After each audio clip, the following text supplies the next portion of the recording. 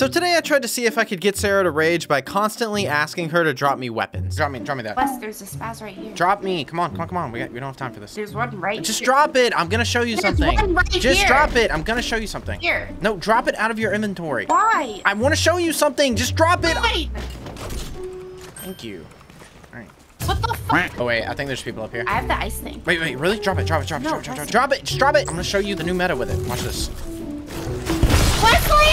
Sarah, what are you doing all the way over there? We gotta rotate up the mountain. Alright, I have a rocket ram, so let's go. Drop me, drop me, drop me. Wesley, you have a rocket. Drop me before someone sees us. You have Come a on. rocket ram in your inventory. Drop me! Drop me a rocket ram so we can rotate! Thank you.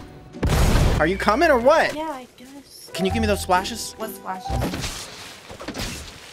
Are you kidding me?